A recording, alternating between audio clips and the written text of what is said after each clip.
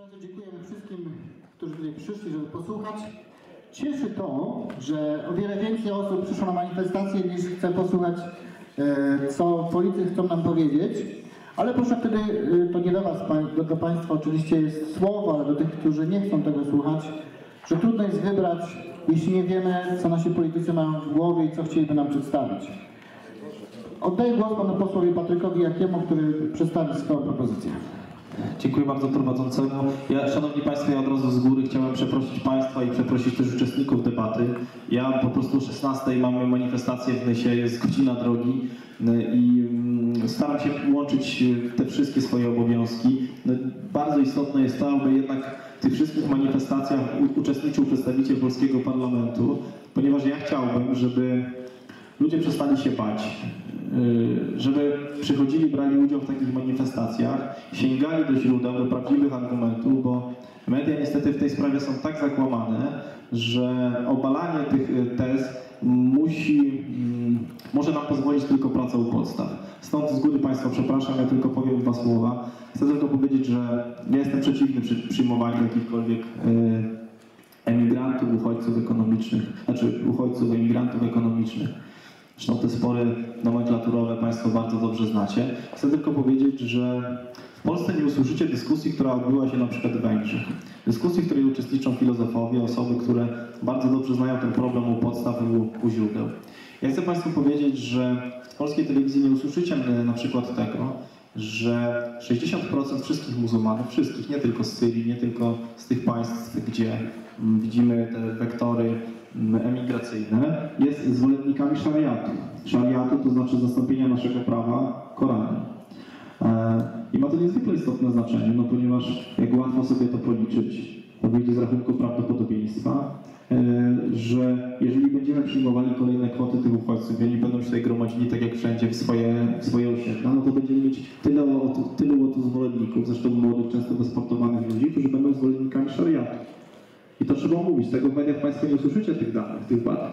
Nie usłyszycie, nie usłyszycie też tych badań, że jedna trzecia e, z tych właśnie muzułmanów jest zwolennikami tego, aby wyegzekwować szariat mieczem. Nie usłyszycie również tego takiej poważnej analizy, e, analizy, która stworzyłaby kontrast pomiędzy naszą kulturą i religią, a kulturą islamską. Nie dowiecie się Państwo na przykład tego, że w kulturze islamskiej jest tak, że ostatnia księga, im młodsza księga, tym księga bardziej aktualna.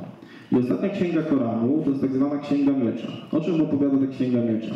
Ta księga miecza opowiada o tym, jak y, prorok Mohamed sam z mieczem w ręku chodził i wyżynał niewiernych, jak wydawał rozkazy swoim armiom, żeby na przykład, że wolno gwałcić kobiety, kobiety, które są niewierne. On sam, prorok Mohamed, który zresztą sam miał, jak Państwo wiecie, dziewięcioletnią żonę, z którą już służył właśnie od tego czasu. E, I, e, i, no i Szanowni Państwo, potem trudno się dziwić, że skoro ta ostatnia, najmłodsza księga, ta tak zwana księga miecza, jest wyznacznikiem dla większości muzułmanów, to, to trudno się dziwić, że oni potem według niej postępują. Tego, tych argumentów Państwo nie usłyszycie w mediach, a warto je znać. Jednocześnie, e, jednocześnie Księga Korana mówi o tym, że pokój i miłość zapanuje wtedy, kiedy wszyscy będą wyznania islamskiego.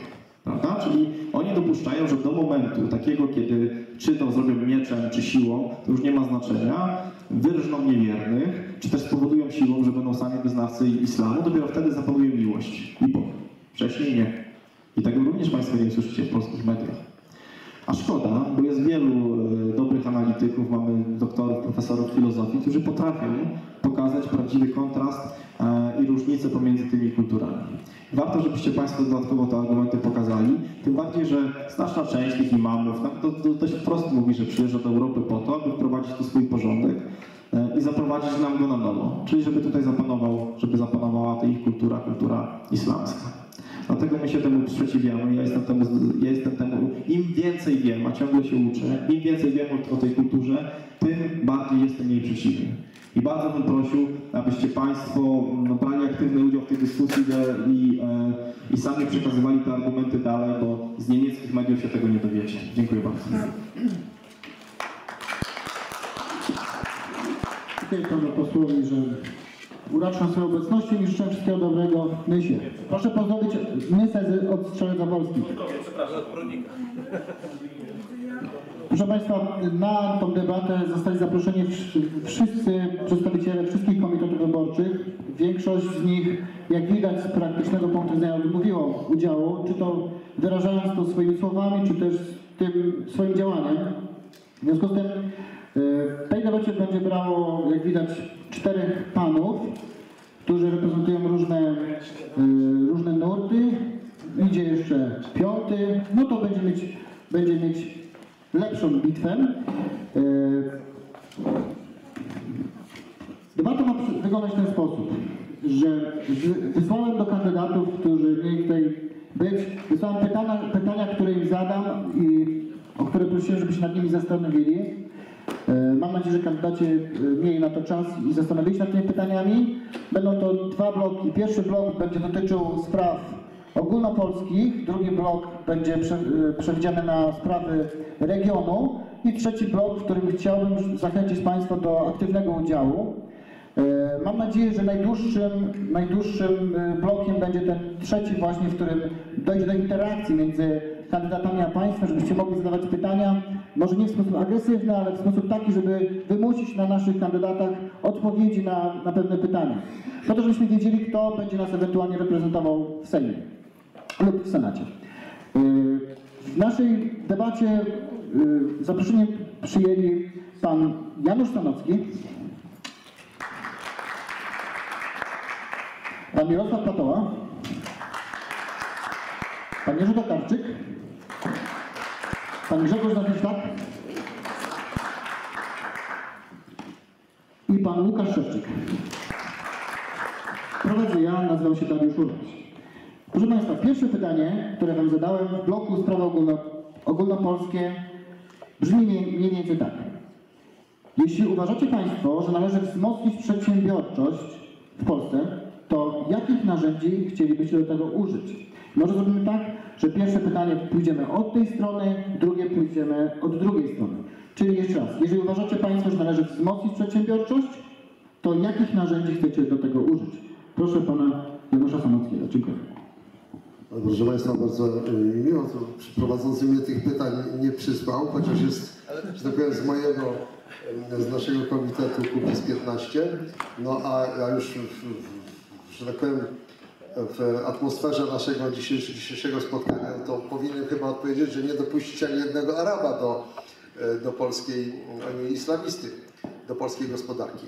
Wzmocnienie przedsiębiorczości, w ogóle tych problemy szczegółowe, gospodarcze, e, społeczne, w zasadzie wiadomo jak rozwiązać. Ja powiem Wam rzecz może niepopularną, ale y, posłużę się anegdotą. Kiedyś, nie pamiętacie, ktoś jeszcze pamięta język- rosyjski tutaj na sali? Kiedyś y, jest taka anegdota, jak to w czasach Breżniewa na Placu Czerwonym facet rzucał lotki, łapią go ci kagebiści, wciągają do suki, zbierają te, te ulotki, patrzą na to puste kartki i go pytają, no a gdzie bukwy? On mówi, za czym bukwy? Więc wszystko jasno. Mówi, po co tam litery, jak to wszystko wiadomo. e. Wiadomo, że przedsiębiorczości sprzyja e, minimum biurokracji, minimum e, proste podatki, e, uczciwy system traktowania obywatela. E, Nie wiem, czy Państwo słyszeli, e, myśmy z Grześkiem Zawiślakiem byli w debacie w takiej w, w loży radiowej u Świercza e, Marka i u e, Mariusza Studziennego jakieś kilo, to tydzień temu. I, e, tematem głównym była ta islamizacja cała. E, Ja, muszę powiedzieć, ja tu wystąpię trochę w roli e, adwokata diabła, bo ja nie widzę aż takiego zagrożenia e, islamizacją Polski, żebyśmy aż musieli tak strasznie się podniecać tym wszystkim. Natomiast widzę całą masę innych zagrożeń. I przy- I posłużyłem się taką frazą, że powiedziałem, to widocznie w, w, w Izbie Skarbowej w Opolu siedzą islamiści, którzy niszczą polską gospodarkę i przyniosłem list niemieckiego przedsiębiorcy, którego dyrektor Izby Skarbowej i Izba Skarbowa puściła z torbami kompletnie bezprawnie. Komplet, a to nie jest jedyny przypadek, który znam. A to nie jest. Reasumując to wszystko, co chcę powiedzieć, w kontekście też do tego, co, i co powiedział poseł, który niestety zwyczajem posłów powiedział swoje i uciekł. E, Takie są zwyczaje posłów, nawet tych bardziej okrzesanych, że oni mówią swoje, nie bardzo ich interesuje, co my mamy do powiedzenia i sobie odchodzą. E, I proszę Państwa, chcę powiedzieć tak, że w- jakby w kontekście też tego, tego dzisiejszego wydarzenia widzę znacznie więcej zagrożeń, które nas niszczą jako naród, jako państwo, niż kilkanaście, nawet tysięcy imigrantów. Naprawdę. Widzę źle funkcjonujące sądy, które nie bronią interesu ani publicznego, ani prywatnego, dopro- pozwalając doprowadzać całą masę firm polskich do upadłości. Ten przedsiębiorca, o którym mówię, zamknął firmę tu, otworzył w Anglii i dzisiaj ten skup złomu jego, który puścili z torbami, e, działa w Nysie jako filia angielskiej e, firmy. I proszę Państwa, ja widzę całą masę zagrożeń, które sprawiają, że my nie jesteśmy już państwem suwerennym, że my jesteśmy w ogóle państwem niebywale słabym. Nie wiadomo, czy właśnie, tak jak powiedział to Sienkiewicz, minister, czy nie jesteśmy państwem istniejącym wirtualnie. I jak tego nie naprawimy, jak tych pierwotnych przyczyn ustrojowych nie naprawimy, to możemy sobie rozmawiać o gospodarce. Janusz Korwin-Mikke, mój osobisty znajomy, o tej gospodarce mówi już 20 parę lat. Mówi w zasadzie rzeczy słuszne, tylko nie mówi jak to zrobić. A my naszym e, kontekstem i sposobem i tym, co mówimy z Kukizem, co, czym go e, udało mi się, że tak powiem, e, przekonać do tego, to są zmiany ustrojowe, zmiana ordynacji wyborczej, wybieranie posłów tak, żeby byli związani z konkretnym, niewielkim okręgiem wyborczym, jeden po jak w Anglii. Dlaczego Anglia dobrze stoi gospodarczo? Ameryka, Kanada, Francja, bo ma system jednomandatowy wyborczy. System wyborczy jest podstawą funkcjonowania państwa. Zmiana sądownictwa, kontrola społeczna nad sądownictwem, ponieważ dzisiaj sędziowie sami się wybierają, sami się kontrolują. W związku z tym y, mogą olewać kompletnie y, zwykłe poczucie sprawiedliwości. Ja mam dwa wygrane procesy w Strasburgu, proszę Państwa. I wiem, jak funkcjonują polskie sądy. Całkowicie jest to do wymiany i to jest właśnie w naszym programie wyborczym. Ja do tego będę wracał tak jak któryś ten Kato, tak, wracał w Senacie Rzymskim, każdym przemówienie kończył Ceterum senseo Cartagine delendem esam. A, pomi- a poza tym powiadam, Kartagina powinna być zburzona. E, Dziękuję. Jako uzupełnienie tylko powiem, że mm, ponieważ jest kandydatów sztuk 5, to możemy zrobić powiedzmy po 3 minuty, także prosiłbym, żeby wypowiedzi były w czasie y, mniej więcej 3 minut, dobrze? Teraz głos zabiera Mirek Patoła. Witajcie Państwo. Co prawda debata nie jest kontynuacją y, tego wiecu, ale tutaj chciałbym zaprotestować przeciwko słowom naszego gościa z Wrocławia. Nie możemy tutaj krzyczeć Polska dla Polaków. Trochę wyrozumienia, proszę. Jesteśmy jednak na Górnym. A teraz przejdę do meritum sprawy. Słuchajcie, no, z Januszem może różnić mnie dużo, ale jeśli chodzi o niektóre z rozwiązań, które, y, o których powiedział, y, są słuszne. Y, Ograniczenie kreatywności Polaków przez wszelkiego rodzaju przepisy jest niedopuszczalne. Ktoś kiedyś zrobił fajną analizę, że przeciętny przedsiębiorca codziennie powinien 3,5 godziny spędzić nad czytaniem nowych przepisów. Gdzie jest drugi kraj na świecie, który produkuje tyle papierów? Wszystko zaczyna się od papieru, kończy się na papierze. Nie jedna firma zbankrutowała, nie jedna się nie otwarła z powodu papierów. Kiedyś rozmawiając y, z bardzo mądrym człowiekiem, mimo 80 kilku lat prowadzącym jeszcze aktywnie przedsiębiorstwo, przedsiębiorstwo, które miało 500 pracowników, potem przez to, że dwa dni spóźnił się z realizacją kontraktu, musiał to przedsiębiorstwo zamknąć, Mówi tak, Panie Mirku, jakby Panu się udało do tego Sejmu y, dostać, a bardzo Panu kibicuję, niech Pan załatwi taką ustawę. Niech każdy urzędnik, który podpisze się pod papierem y, egzekwującym czy interpretującym jakąś ustawę na swój sposób, która spowoduje jakąś szkodę wymierną, na przykład milion złotych, poniesie osobistą karę za to, jeżeli to będzie sprzeczne z prawem.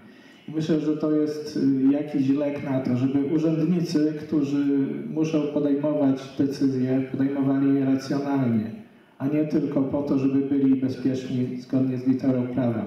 Wtedy wszystkie inne ułatwienia dla przedsiębiorców będą zbyteczne, dotacje, inne rzeczy. Naprawdę, jest wolny rynek, każdy powinien znaleźć sobie na nim miejsce, a to, że ludzie uciekają do Anglii, to niestety będzie specyfiką tego kraju jeszcze długo, zanim ten system podatkowy się nie zmieni. To mniej więcej tyle na pierwsze pytanie. Oddam koledze Tokarczykowi mikrofon. Witam Państwa. Odpowiadając na pytanie tutaj prowadzącego, co mamy, co możemy zrobić dla przedsiębiorców. Proszę Państwa, co możemy zrobić? Wiemy, że brakuje przede wszystkim kapitału przedsiębiorców. To jest największa bolączka. Skąd go wziąć? Pytanie. Proszę Państwa, da się to zrobić. Da się to zrobić poprzez obniżenie podatków. Przede wszystkim podatek liniowy w granicach 15-16%. Bo jest zasada taka, im, im wyższy podatek, tym mniejsze wpływy podatkowe, proszę Państwa. Zawsze tak się dzieje i to jest y, prawo ekonomii. Druga sprawa, podatek liniowy, mówię o podatku liniowym, teraz podatek CIT od osób prawnych. Niejedno państwo już zrobiło coś takiego, że go obniżyło do 10%. Proszę Państwa, to jest raj podatkowy w tym momencie. Czechy to zrobiły, wiele firm się przenosi do Czech polskich i się okazuje, że zarabiają na tym. Trzecia sprawa, proszę Państwa, to należy opodatkować sklepy wielkopowierzchniowe. Proszę Państwa, te sklepy naprawdę nie płacą żadnych podatków. Te sklepy wywożą kapitał za granicę.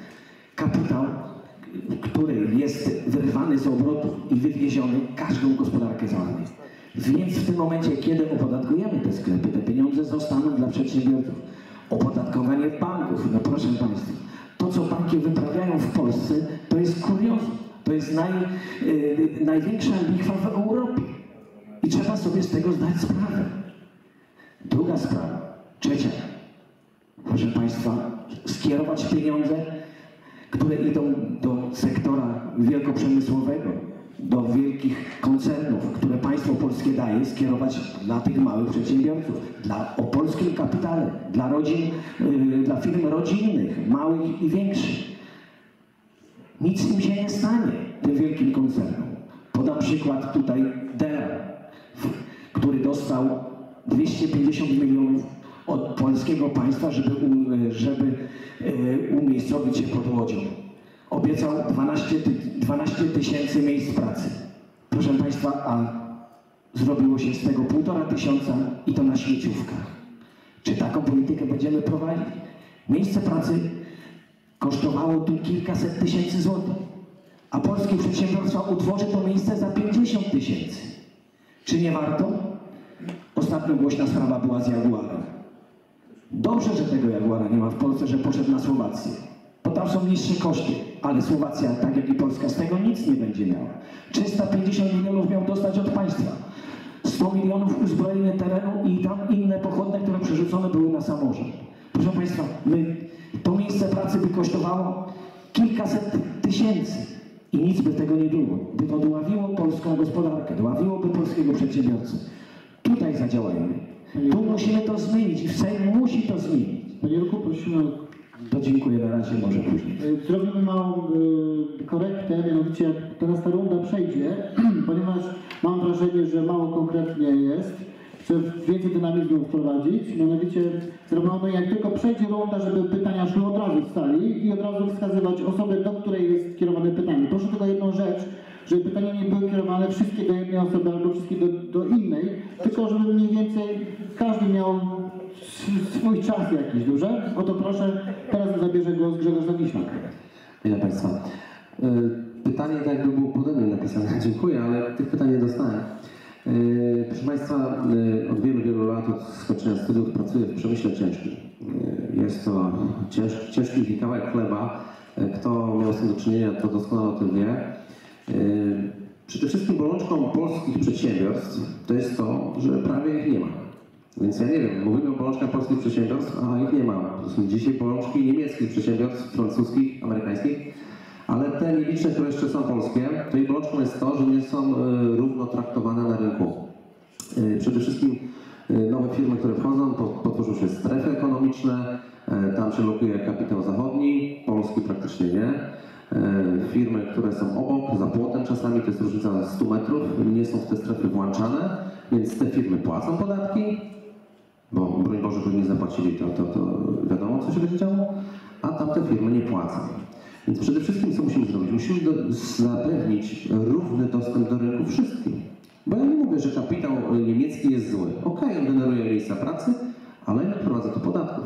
Więc y, strategią y, ruchu Kukiza jest to, żeby wprowadzić dla wszystkich Polaków, Niemców, Francuzów, którzy chcą robić tu biznes, łącznie ze sklepami wielkopowierzchniowymi, e, podatek od przychodów.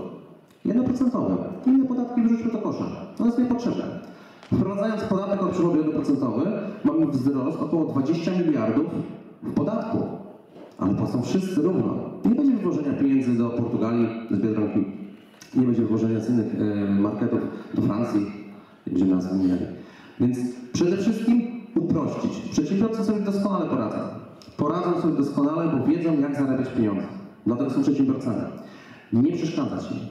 Uprościć system e, socjalny. Więc e, wszelkiego rodzaju e, składki ZUS-owskie, które są w ogóle wy, wyimiene- wyami- ach, słabo uciekło, e, są absurdalne. E, No nie wiem, jaki kraj ma taki system mm, socjalny, no to, to, jest absurd. E, Kiedy przedsiębiorcy, człowiek przedsiębiorczy pracuje w firmie, dodatkowo zakłada sobie inną firmę i jeszcze inną firmę, to płaci za każdą firmę składkę emerytalną, zdrowotną. No to jest, to, jest, to jest jakaś bzdura. Idziemy do lekarza, ale musimy to wszystko płacić z prywatnych środków. Więc to, to, to, jest, to, to jest absurd. Yy, o jeszcze jednej rzeczy trzeba pamiętać. O wszechdobylskim nepotyzmie. Nepotyzmie, który blokuje łatwy dostęp do urzędnika. Yy, Urzędnik czuje się królem, panem, yy, idzie się do innego urzędnika, żeby się pożalić na tego urzędnika. Okazuje się, że to tam jakiś tam wujek, tak? albo jakiś tam znajomy z opcji politycznej. Urzędnicy muszą być, bo, bo w każdym państwo mm, takich urzędników potrzebuje. E, Ale przedsiębiorca nie może być skazany na to, żeby nie móc się obronić, nie móc się odwołać. Ja kiedyś e, swego czasu byłem urzędnikiem państwowym. Wiem, jak ten system jest skonstruowany. System jest skonstruowany tak, żeby żaden przedsiębiorca nie miał prawa się odwołać. Dzisiaj jestem po drugiej stronie. Dzisiaj e, zarządzam jedną firmą mm, odlewnią żeliwa, a dodatkowo prowadzę własną działalność. I w tej działalności pomagam tym przedsiębiorcom. Ale tylko dlatego, bo wiem jak to robić, bo byłem urzędnikiem. To jest absurd. Wiem, czas się kończy, tak? Dziękuję bardzo. Dziękuję Grzegorzu. Teraz pan Łukasz. Dziękuję. Drodzy Państwo, jak pomóc polskiej przedsiębiorczości? Ja tu poniekąd troszkę będę polemizował z przedmówcą, mianowicie był Pan łaskaw zapomnieć o małych i średnich przedsiębiorstwach e, w swoich pierwszych zdaniach, ale rozumiem intencje, bo Pan potem rozwinął kwestię y, wielkopowierzchniowych sklepów i koncernów zagranicznych. Więc y, faktem jest, że należy wyrównać szanse. Jak, jak je wyrównać? To znaczy, żeby prawo było takie samo dla każdego. Żeby prawo działało, nie może być w nim wyjątków. Nie może być przywileju. Jeżeli będą przywileje w prawie, to zawsze druga strona, która tych przywilejów nie ma, e, będzie się czuła pokrzywdzona i będzie de facto pokrzywdzona. E, Grzechem, e, grzechem głównym naszych elit rządzących jest to, że wprowadziła e, różnego rodzaju ulgi właśnie dla tych wielkich przedsiębiorstw zagranicznych, dla tych sklepów wielkopowierzchniowych. Są to specjalne strefy ekonomiczne, e, są to e, właśnie umowy podpisywane z, z dotowaniem, z przygotowywaniem gruntów pod działalności. Więc e, są to, e, są to wyjątki, e, które, znaczy wyjątki w prawie, które są stosowane dla ścisłej grupy przedsiębiorstw. No i to przede wszystkim, mm, to przede wszystkim psuje gospodarkę. Kolejną kwestią jest, kolejną kwestią jest ZUS, składki ZUS. Drodzy Państwo, ja jestem człowiekiem zajętym, podróżuję po Polsce. E, Bardzo często mm, moja, moja żona również aktywnie żyje, tak to nazwijmy. Tak, więc uprawia sporty, e, spaceruje, zwiedza krajobrazy.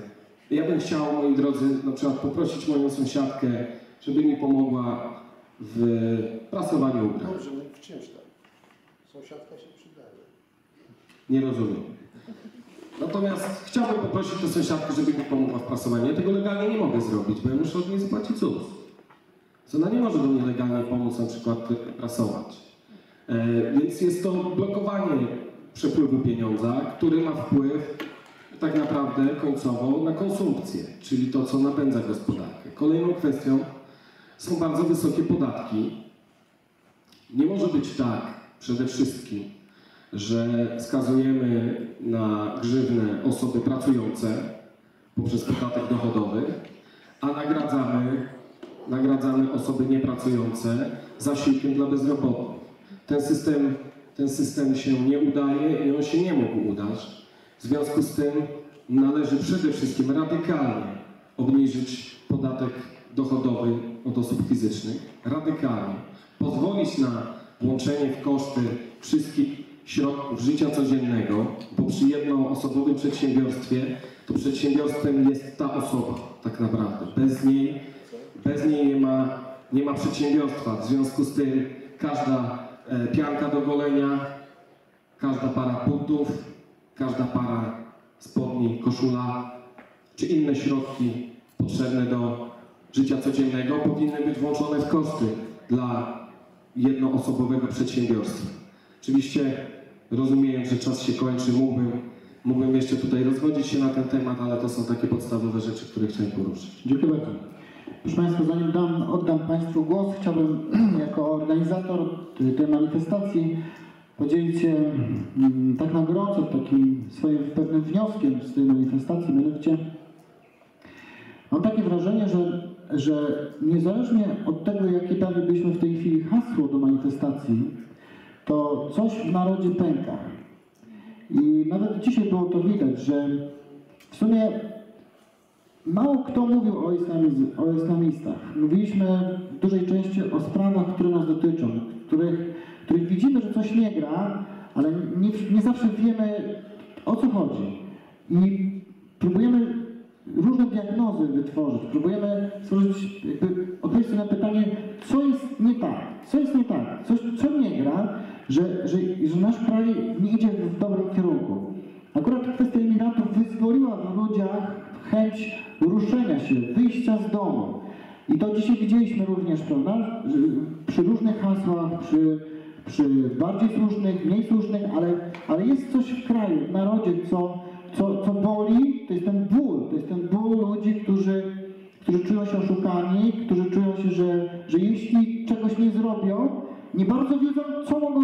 nie bardzo potrafią sobie odpowiedzieć na pytanie dlaczego, ale wiedzą, że- coś nie gra, coś nie gra.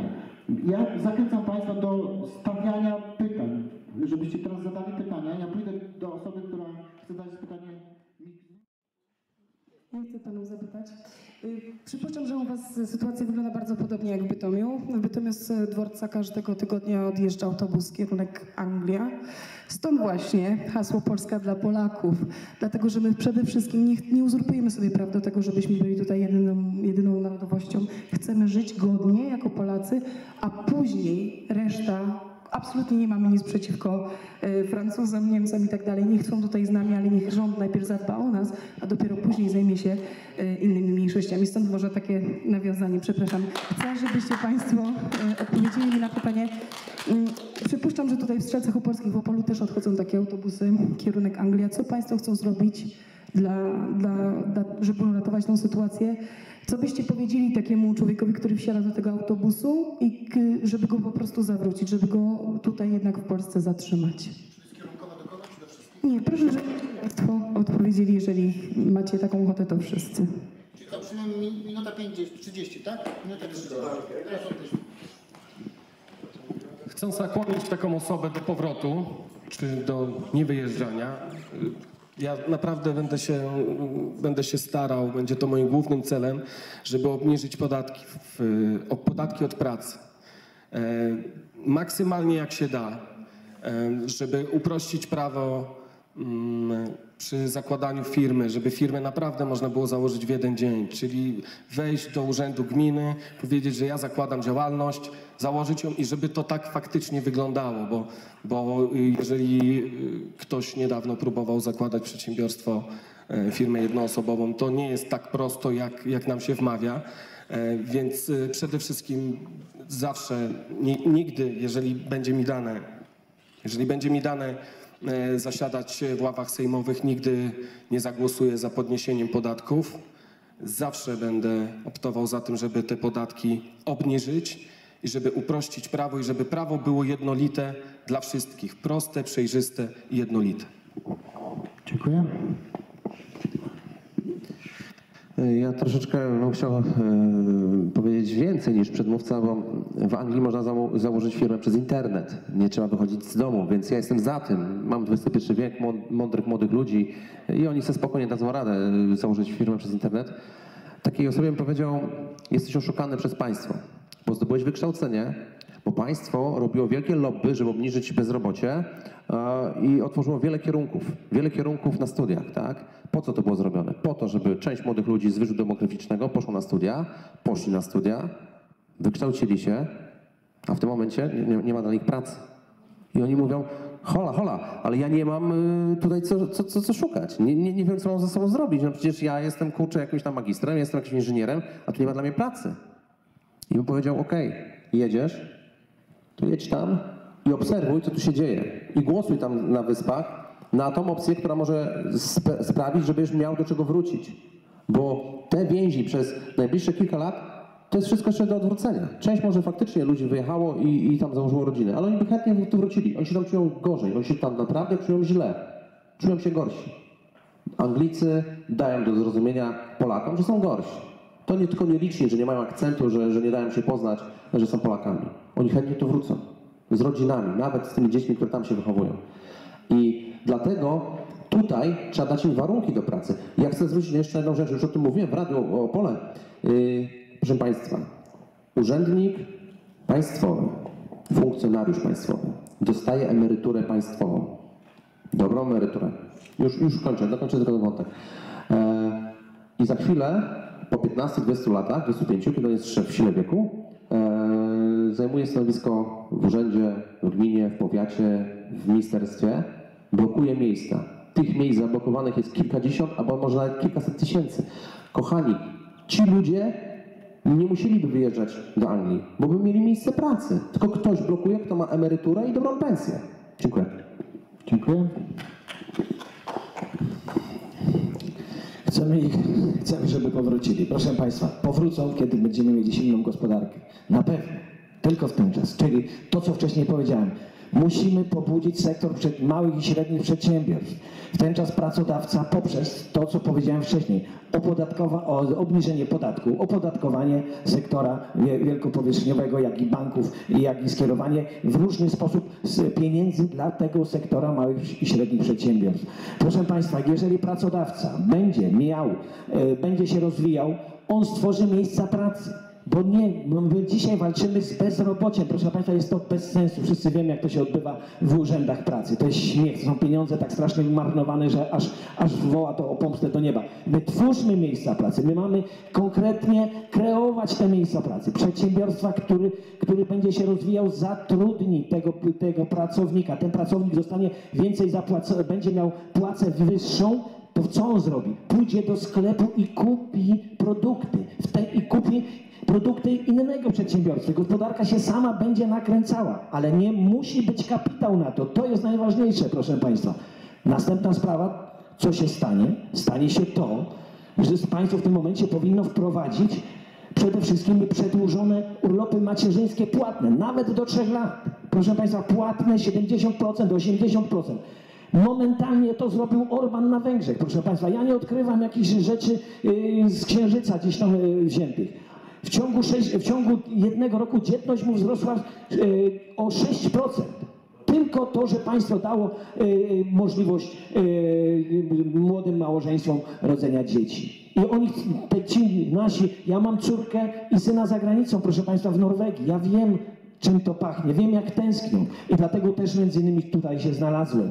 Ale tylko rozwój małej i średniej przedsiębiorstw, polskich firm z polskim kapitałem, proszę Państwa, tu będą nam kłody pod nogi da, dawać, ale po to startuję do Sejmu, żeby właśnie temu przeciwdziałać, żebyśmy się rozwijali, bo nie mamy innej szansy i nie ma szans na powrót młodzieży. Dziękujemy serdecznie. Tak, nawiążę do pytania. No akurat nie trafiła Pani, ja reprezentuję grupę 120 tysięcy Ślązaków, która mieszka na Opolszczyźnie. Grupa, która nie jest ani objęta ochroną ustawy o narodowościach, ani nie jest uznana jako mniejszość etniczną, także A Ślązacy to nie Polacy? no akurat w spisie powszechnym w spisie powszechnym 120 tysięcy napisało na pierwszym miejscu, że czuje się Ślązakami, tak? A wracając do kwestii ekonomicznych, tak?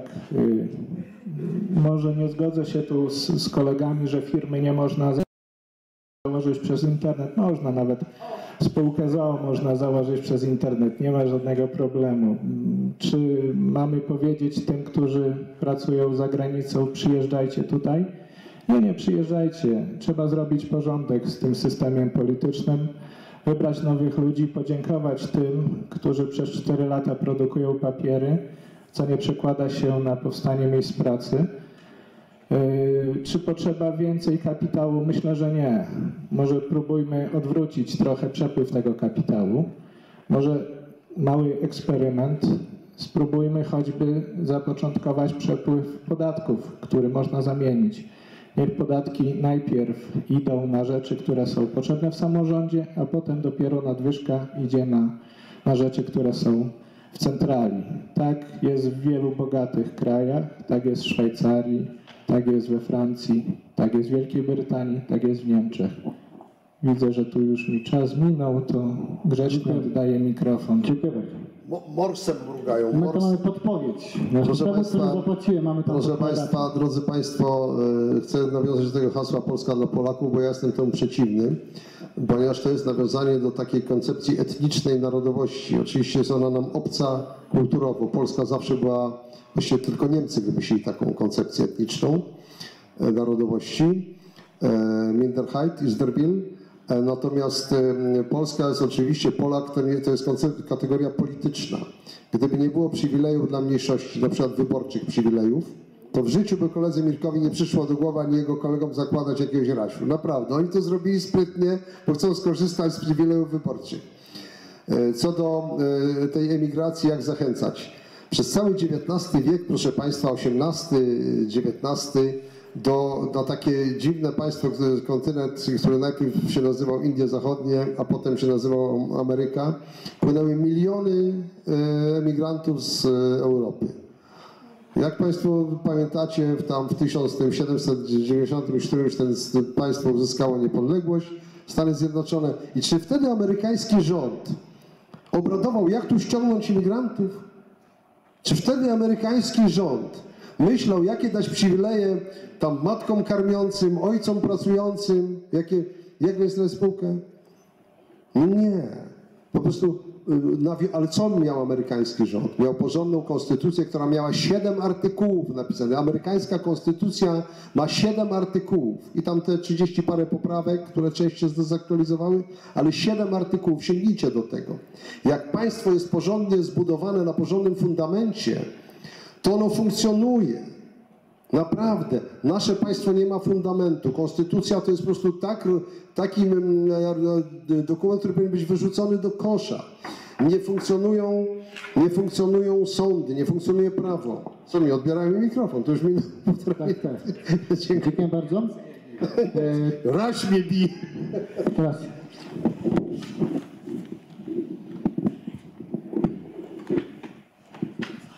Jedną rzecz muszę powiedzieć. Pytanie Kasi zabrało już moje pytanie, które miałem do kandydata, w związku z tym odpowiedzi na to, co ja chciałem. Proszę. Proszę Państwa, jestem przedsiębiorcą i tak słucham tej debaty i tylko praktycznie nie dwie, dwie osoby tutaj przekonały, że coś rozumieją o przedsiębiorcach i coś mogą przedsiębiorcom pomóc. Budowałem stadion wrocławski, oszukano 2 miliony. Autostrady ponad 150 tysięcy i ostatnio elektrownie wiatrakowe 340 tysięcy. Wiecie Państwo, dlaczego? Tutaj wszyscy kandydaci mówią, o czym nie rozumieją. Ustawa o zamówieniach publicznych, panowie, to jest podstawa. Tutaj jest korupcja od samego początku. I jak chcecie mówić w tej chwili i zajmować się przedsiębiorstwami, to najpierw zagadnijcie, zapytajcie przedsiębiorców tej gnębi. W jaki sposób są oszukiwane przez państwo? My jesteśmy przedsiębiorcy, takie pytanie zadam. My jesteśmy polscy przedsiębiorcy niewolnikami u firm zagranicznych. Nas się dokładnie sprawdza pod względem ZUS-ów, innych, za to się nie sprawdza firm zagranicznych, jak oni wyglądają. Ponadto ustawa o zamówieniach publicznych w taki sposób zorganizowana i zrobiona, że wszystkie firmy, które przegrywają przetargi, powinny mieć przynajmniej ka- 50% własnej załogi do wykonania tego zadania i kapitał, który powinien być zeskładowany w banku. W przypadku, kiedy szukają podwykonawcy, to wtedy, podwykonawcę, to wtedy z tego kapitału generalny czy ewentualnie inwestor ma prawo wypłacić tego podwykonawcę. To jest podstawa. A jeżeli tego nie będzie, to trudno. I dlatego chciałem panowie zapytać. Ja jestem zawsze człowiekiem, który odważnie mówi. Powiedziałem szybciej. Panów na mnie przekonało. Pozostali nie. Co chcecie zrobić jako posłowie, żeby tę ustawę zmienić i w jaki sposób chcecie płynąć w przypadku, kiedy jeżeli wejdzie stowarzyszenie czy ruch Kukiza do Sejmu, to będzie zaledwie 30 osób. Czy z taką małą grupą osób jest ciężko w tej chwili cokolwiek wojować w Sejmie, bo tam wiadomo tylko zwycięża większość. To jest jedno pytanie. Drugie pytanie całkiem innej beczki. Czy zostanie posła, zostaniecie posła, posłami panowie, czy rzekniecie się waszych uposażeń, przynajmniej 50% i diet na dzieci niepełnosprawne i instytucje, które potrzebują tak bardzo tych pieniędzy. Bo wtedy zrozumiem, że idziecie służyć społeczeństwu polskiego, a nie po karierę i pieniążki. Zapytanie teraz jeszcze ma opcję Szostanickiego. Wiedziałem, że Piotrek Rybak mnie najpierw wywoła do, do, do głosu. Piotruś, ustawa o zamówieniach publicznych jest dobra.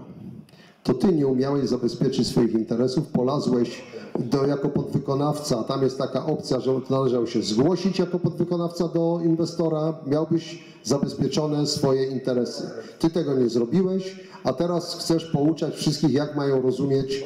E, tak, tak jest.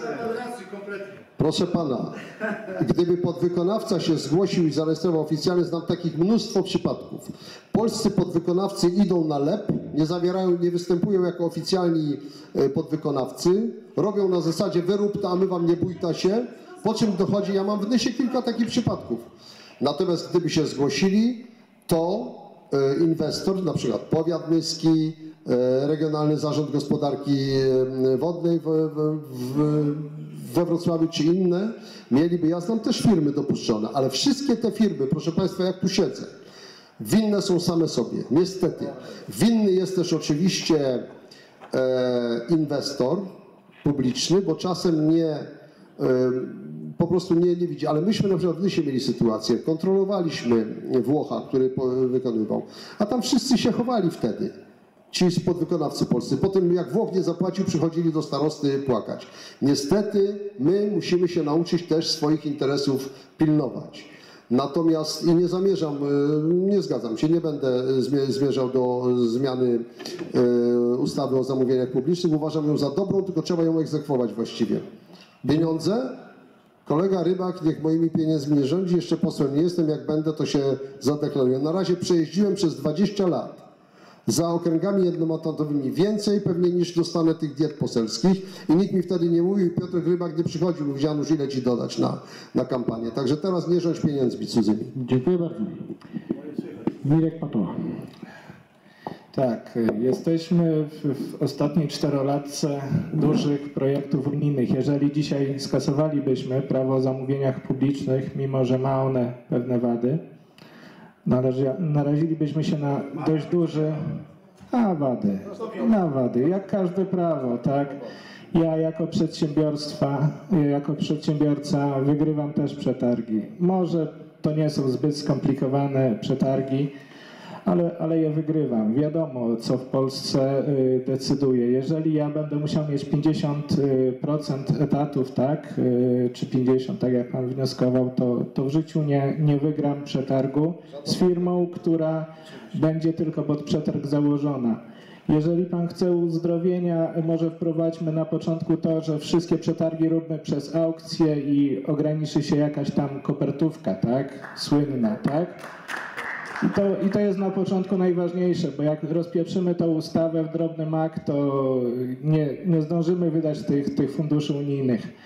Pieniążki oddam, tak, mogę oddać pieniążki na biednych czy na jakikolwiek cel publiczny, ale y, zróbmy taki kontrakt, tak, żeby poseł. Y, Jedno pytanie, prośbę. Nie Tak. o pieniądzach i mówię pieniążki, okej? Pieniądze są pieniądze. dobrze, proszę bardzo, pieniądze, tak? Oddam swoje uposa- uposażenie, tak. Jeżeli nie będę umiał wy, y, wykazać się tak, że przynajmniej 50% tego, co zagwarantowałem w programie, jest nie do zrealizowania, wtedy oddam chętnie swoje pieniądze na dowolny cel. Dziękuję. Dziękuję. Jeżeli chodzi o ustawę o zamówieniach publicznych, na pewno ma e, wady, bo też się tym spotykam u siebie e, w urzędzie gminy.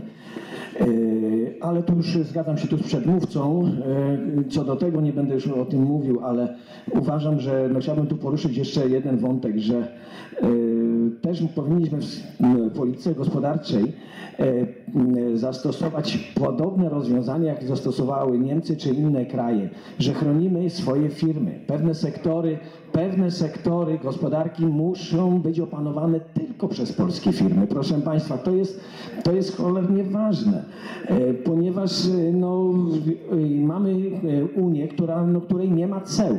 Cła mają to do siebie, że powodują pewne, pewną zaporę przed e, wejściem dużego kapitału, koncernów, które, no, z którymi nikt nie może konkurować, proszę Państwa. I to niszczy polską gospodarkę, polskich przedsiębiorców. I tutaj, tu bym, e, będę optował, jeżeli zostanę posłem, żeby takie ograniczenia wzorem innych krajów, e, innych krajów wprowadzić. Bo dzisiaj no, jest oddani, oddali, oddani jesteśmy zupełnie na pastwę tam łaskę, niełaskę dużych koncernów, proszę Państwa. I dlatego przegrywamy. Dlatego jest taka bieda w Polsce. Jeżeli chodzi o pieniążki, na pewno nadmiar, znaczy pieniądze, dobrze pan powiedział, pieniądze na pewno się podziela z tymi biednymi. W jakiej skali? Trudno mi powiedzieć, y, bo ponieważ no też poseł musi z czegoś żyć, prawda? Dziękuję bardzo. Grzegorz Zawiślak. Ja może od końca. E, Ja prowadząc teraz kampanię też wspierałem parę, parę e, fundacji, które pomagają ludziom. Ja myślę, że nie można na kimś wymuszać e, odruchów serca, tak? Jeżeli ktoś ma to w naturze, to będzie to robił, obojętnie kim będzie. Czy będzie miał e, 1000 zł i się podzieli z kimś, czy będzie miał 100 tysięcy i też się podzieli. Skala jest po prostu tylko różna. Więc ja to robię, robić będę. Będę to robił z potrzeby serca, a nie na zasadzie, że ktoś y, będzie mnie do tego zmuszał, bo, bo jestem Polakiem, nie dam się do czegoś przymusić i koniec. Z całym szacunkiem. Więc nie dam jakiejś deklaracji, ale na pewno pomagać będę. Odnośnie kontraktów. Moi przyjaciele stracili majątki. Majątki, naprawdę. To były miliony złotych, bo byli podwykonawcami. Y, Ta ustawa powinna mieć jeden konkretny zapis. Powinna preferować lokalne firmy, które są zlokowane na terenie inwestycji, tak? Czyli jeżeli inwestycja odbywa się na terenie powiatu nyskiego, to preferencje.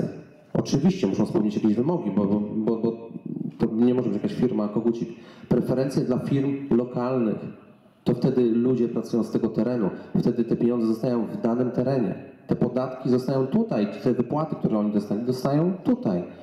Yy, Na pewno będzie to lepiej zrobione, bo ci ludzie mieszkają tutaj. Jeżeli oni coś, nie powiem brzydkiego słowa, popsują, to sąsiad powie, no kurczę, ty tam to, to budowałeś, to robiłeś. No co popsułeś, to się przecież ta droga sypie, dziury się wyschodzą. Nie dziury, tylko ubytki na wierzchni, bo dziury są przelotowe. Yy, więc yy, preferuję lokalnych przedsiębiorców. Są wady i, i, i takie, takie między innymi, można było dłużej mówić. Dziękuję bardzo. Łukasz Szewczyk. Ja również od końca, jeżeli chodzi o y, przeznaczenie jakichś y, środków, y, też jestem zaskoczony tak, y, jakby próbą wymuszenia takiej deklaracji. Natomiast ja też y, już od wielu, wielu lat pomagam w ten czy inny sposób różnym organizacjom i docelowo dla konkretnych dzieci i dla konkretnych organizacji. przekazuję środki materialne i finansowe, więc będę to robił tak jak do tej pory, e, więc tutaj się nic nie zmieni. Natomiast jeżeli chodzi o mm, prawo zamówień publicznych, e, tu się zgodzę z kolegą Mirkiem Patołą. Mianowicie na chwilę obecną nie możemy nic, nie możemy nic z tym zrobić, e, z tego względu, że grozi to rozsypaniem tego całego systemu dotacji unijnych, który, e, do którego to prawo jest dostosowane.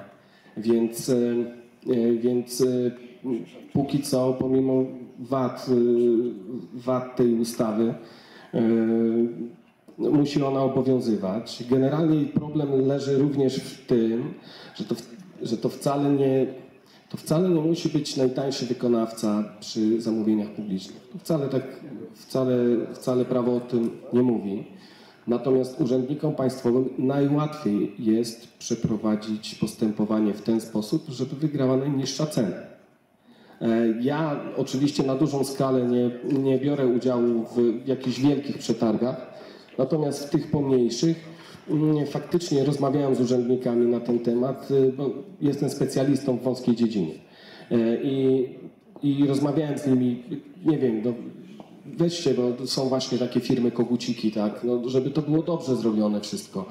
Zastanówcie się nad tym, przecież nie musi wygrywać najniższa cena. Panie Łukasz, kto, to- kto się tym będzie zajmował? Kto to będzie robił?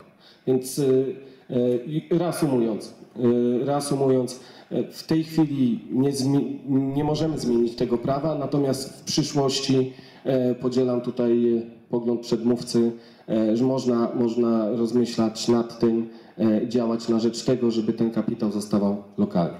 Dziękuję bardzo. Tutaj pan Janusz Sanocki chciałby polemikę jakąś. y, Tak, tak, chciałem zapolemizować, bo to za, za głęboko idzie. No jak przedstawiciel partii Korwin mówi, że muszą być, e, że nie najniższa cena, no to ja się dziwię, gdzie ta wolność gospodarcza jest, bo tam jest jeszcze, proszę pana, specyfikacja istotnych warunków zamówienia, która powinna pewne kryteria dopuszczenia do konkursu określać, a wtedy powinna już tylko najniższa cena, bo jak nie będzie najniższej ceny, wtedy to będą łapówki właśnie. To będą kopertówki, wtedy się wybierze swojego. Poza tym druga, proszę mi wierzyć, proszę Państwa, znam tę ustawę. Druga klauzula, która zabezpiecza podwyby, tam istnieje klauzula, jakby wykonawcy dbali o swoje interesy, nie byli naiwni, to by zabezpieczyli. I trzecia wreszcie, Panie Łukaszu, wszyscy byliśmy za utrzymaniem ustawy w obecnym kształcie, a Pan tylko swojego kolegę z listy Mirka tutaj, proszę Pana, z nim się zgadza. Dlaczego ze mną Pan się nie chce zgodzić, skoro ja też jestem za utrzymaniem ustawy o zamówieniach publicznych? Rozumiem, że Proszę pan- ciasnego partyjniactwa nie uprawia. Rozumiem, że pan Łukasz będzie. Na razie to z Państwa komitetu jest 3, do 2, jeżeli chodzi o komitet. Czy pan chce zrobić ripostę? Krótko. E, Wystarczy, wpro, wystarczy wprowadzić, że najwyższa i najniższa cena odpada. Z jakiego powodu? No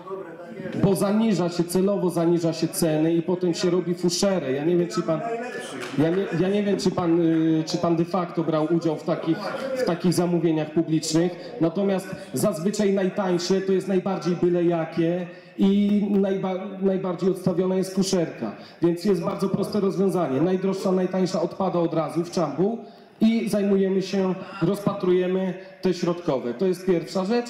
A drugi zarzut był tak błahy, że się nawet do niego nie odniosę. Przepraszam, przepraszam. Powinna być wybierana druga oferta, a nie pierwsza o najniższej, najniższa cena. No tak jak za, zaproponowałem, najwyższą i najniższą cenę można od razu odrzucać. Ktoś? Ja bym, ja bym chciał tylko dopowiedzieć, bo, bo mam masę znajomych przedsiębiorców, którzy biorą udział w różnych przetargach. E, I takie praktyki się już stosuje. W niektórych, ale tylko naprawdę zależy od urzędników, od urzędu. Tak, i, i znam takie przypadki, kolega mówi mi, no słuchaj, odpadłem z przetargu, już wszystko zrobiłem, żeby było jak najniżej i powiedzieli, że moja jest za niska i odrzucili moją i tą najwyższą. Także to wszystko zależy naprawdę od ludzi, od dobrej woli.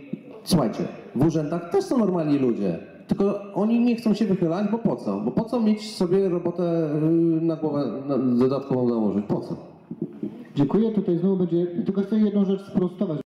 Wydaje mi się, że mm, Robi się gorąco. nie, że robi się gorąco, tylko czasem wypowiadamy się o rzeczach, które rozumiemy trochę intuicyjnie, bo poszliśmy za daleko. Wiadomo jest klauzula rażąco niskiej ceny i każdy, kto bierze udział w przetargach, czasem dostaje jakieś tam informacje, że wasza spółka jest na tym i na tym miejscu, wygrał jakiś, za przeproszeniem, przedsiębiorca, nie wiadomo jaki, bo dał kosmiczną cenę, tak? Także y, tutaj też jest zabezpieczone. Zawsze w przetargach, podsumujmy może ten, ten liczy się koszt, jakość i czas i każda dobra e, specyfikacja musi to zawierać, a to czy podwykonawca się zabezpieczy, czy nie zabezpieczy, to niestety jest ryzyko biznesu i wszyscy ma to, mamy to na, na co dzień, czy bierzemy udział w przetargach, czy nie bierzemy. Kropka, dziękuję. Dziękuję. W takim razie, jeśli wydaje nam się, że ten temat, chociaż nie jest na pewno wyczerpany, ale chcę dorzucić jeszcze inną rzecz.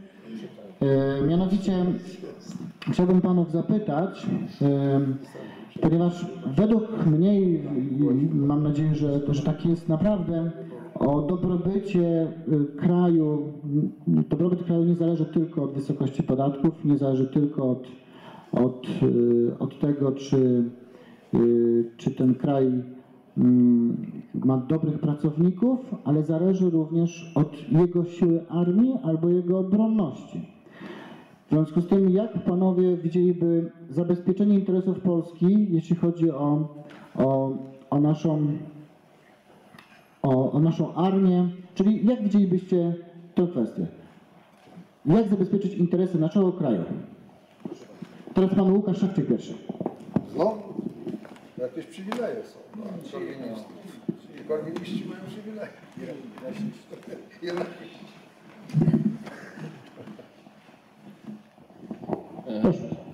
Drodzy Państwo, ja nie jestem specjalistą od armii. Zaraz tutaj wysłuchamy grupy specjalistów od uzbrojeń, armii, prawda, taktyki wojennej i polityki zagranicznej, dyplomacji, e, szpiegostwa, wojskowych służb informacyjnych, wywiadu i kontrwywiadu. Zaraz wysłuchamy tych, e, tych wywodów. E, Natomiast ja uprzedzając, chciałem zaznaczyć, że ja nie jestem człowiekiem wojska, nie jestem człowiekiem armii. Ja Państwu powiem, co ja bym sobie wyobrażał. Tak? Ja nie wiem, jak to zrobić.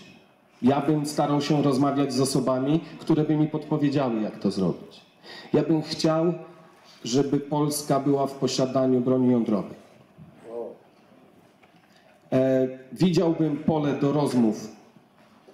Ja, jako laik, jako osoba, która się kompletnie na tym nie zna, widziałbym pole do rozmów w tej kwestii z Izraelem, z Francją.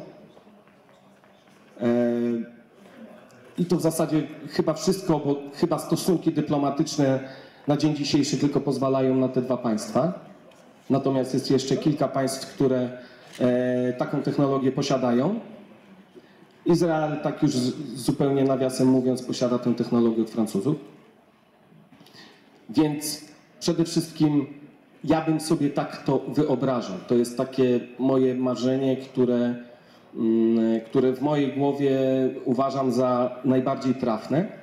Natomiast e, kolejna kwestia to oczywiście wzmocnienie, wzmocnienie e, naszej armii, uzbrojenia armii i przede wszystkim e, udostępnienie Polakom mm, prawa do posiadania broni. Jeżeli każdy Polak będzie posiadał broń w swoim domu, każdy najeźdźca bardzo, bardzo mocno będzie się zastanawiał, czy atakować nasz kraj, bo to będzie walka o każdy dom, o każdą stodołę, o każdą ulicę, przecznicę i o każde oko. Dziękuję bardzo. Grzegorz Zabiślak. Akurat temat jest bardzo bliski mojej osobie, mm, ponieważ nawet y, tworząc strategię ruchu Kukiza, y, tam moje wskazania mm, zostały uwzględnione. Ale chciałbym powiedzieć o czymś innym. Mm, Przede wszystkim od wielu, wielu lat działam w Stowarzyszeniu 10. Sudeckiej Dywizji Zmechanizowanej.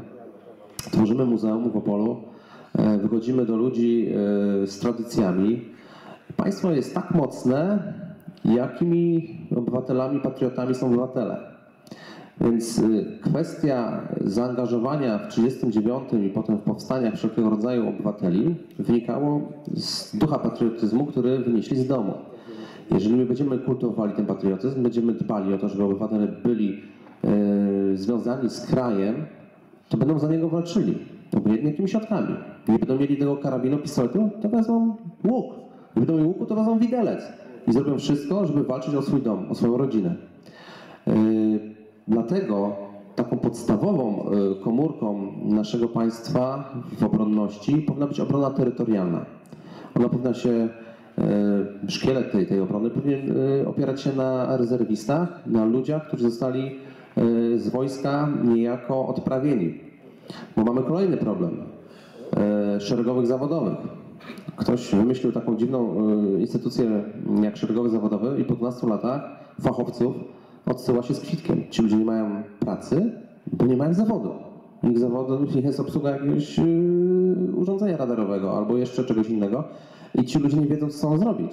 Naprawdę są problemy. O tym się nie mówi. Ci ludzie trafiają y, często i gęsto, już widzę, pan świeci, już kończę, trafiają do, do, do y, ośrodków i leczą się naprawdę z poważnych problemów psychicznych.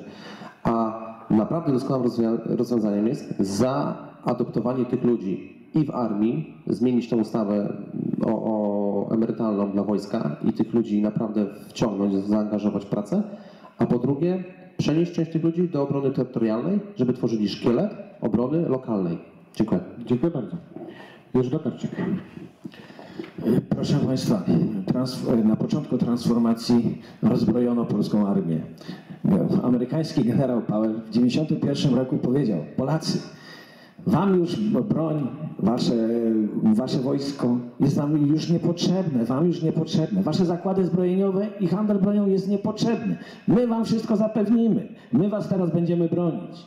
I proszę Państwa, co nam zostało? Co nam została za armia? 15 tysięcy tak naprawdę. Na stadionie małym się to zmieści. Tak nas wyrolowali, proszę Państwa.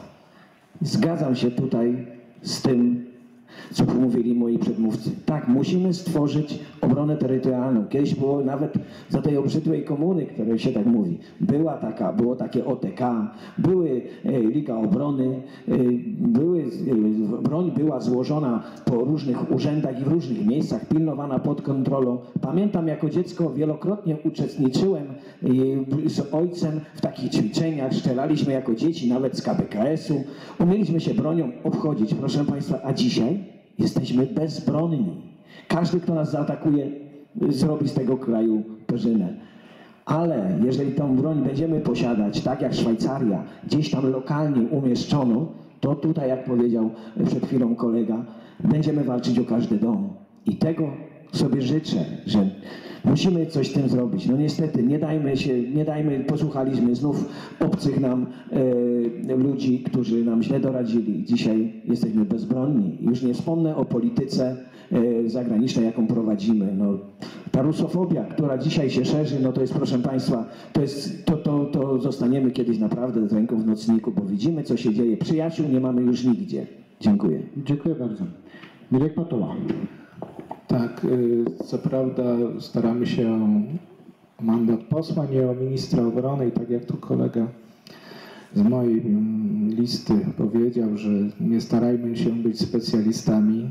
Niemniej nie, nie ulega wątpliwości, że każdy będzie bronił swojego domu bez względu na opcję narodową czy etniczną. Y, Tego nie, nie, nie, nie wykluczajmy. Natomiast y, jaka broń nam jest potrzebna, y, tego nie wiem. Natomiast ważne jest to, żeby wzmocnić rzeczywiście wydatki na, na armię, wzmocnić wydatki na sprzęt i tworzyć zawodową armię. Nawiążę do y, wątek do szeregowych zawodowych, y, tak jak Grzegorz Zawiślak. y, Też miałem taki przypadek w rodzinie, że niestety tych ludzi oszukano, mamiąc ich kontraktami, mamiąc ich mieszkaniem, mamiąc ich stałą pracą, a po powrocie z misji nie potrafiono udzielić im nawet należnej pomocy lekarskiej. Dlatego póki to nie będziemy mieli uregulowane, nie będzie też szansy na prawdziwą zawodową armię. To wszystko musi mieć zdrowe podstawy. Dziękuję. Dziękuję bardzo. Janusz Konowski. Proszę Państwa, mm, w programie naszego ruchu y, w strategii jest y, rozdział poświęcony bezpieczeństwu. On oddaje nasze przekonania, między innymi te, o których mówił tu Jurek Tokarczyk. Mianowicie, y, i muszę powiedzieć, że jest to na bardzo wysokim poziomie opracowane. Y, Chodzi o powołanie, oprócz zawodowej armii, o powołanie obrony terytorialnej, zorganizowanej, mm, obywatelskiej, mm, tej rezerwy takiej, która będzie bronić e, kraju. To oddaje moje przekonania również. Ja znam Szwajcarię, byłem w Szwajcarii e, i widziałem jak to działa, czytałem na ten temat. Szwajcaria, model szwajcarski jest mi najbliższy, to jest prawdziwa republika. Em, Powiem szczerze, że tam po prostu Państwo nie wiecie zapewne, tam po prostu każdy młody człowiek jest w armii i ma karabin w domu. Szwajcar musi wystrzelać 300 pocisków co roku. Znaczy ja to widziałem, jak oni to robią. I to jest kraj, który ma kilkaset tysięcy ludzi pod bronią cały czas. Dlatego są tacy silni. Hitler kilka razy, Wehrmacht e, miał cztery plany podboju Szwajcarii jako kraju, który rozdzielał ich z Włochami. Wtedy Szwajcaria liczyła 4 miliony mieszkańców w czasie II wojny. Wehrmacht miał plany mm, zajęcia Szwajcarii, ale zawsze wiązało się to, szacowali straty na ponad milion e, zabitych e, żołnierzy, w związku z tym odkładali to i Szwajcaria ocalała, bo miała po prostu silną armię obywatelską. Polska nie powinna uczestniczyć w żadnych misjach zagranicznych, w żadnych, powinna zachować neutralność. Ja nawet jestem zwolennikiem, ale nie będę mówił, bo mnie znowu rozszarpią, daleko posuniętej neutralności naszego państwa. Brońmy się sami, nie pchajmy się w żadne awantury. Dziękuję bardzo. Y, Proszę Państwa, ostatnie, tam, tak, ostatnie pytanie.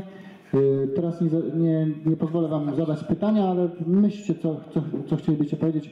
Y, Teraz zadam pytanie o tym, ponieważ powinniśmy wychodzić od ogółu do szczegółu, prawda? Czyli, y, czyli najpierw widzieć coś z wysokości lotu ptaka, a dopiero potem zajmować się detalami. W związku z tym moje pytanie do Panów jest takie. Jaki jest kluczowy problem w naszym województwie? Czy macie pomysł, czy go, jak go interpretujecie i jak chcielibyście go rozwiązać? Pierwszemu głos oddaję Panu Januszowi Sanockiemu. Jak trudne pytanie, to ode mnie zaczyna. Zauważyliście to.